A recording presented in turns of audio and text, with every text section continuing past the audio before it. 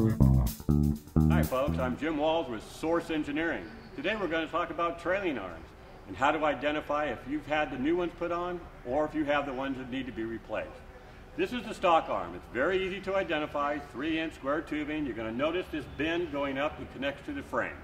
Our new arm, you're going to see first off there is no bend. We have a riser here to keep the strength in the steel down here. Also very easy to identify is this half inch steel plate wrap around in the high stress area. The third thing you can tell real quickly is the stock trailing arm here has a 5H U-bolt. We increased that U-bolt size to a 7H U-bolt because we're going to hang an extra 100 pounds on this arm. This is 60 pounds, this is 160 pounds. If you'd like to get some more information if you're about your coach and trailing arms, give us a call.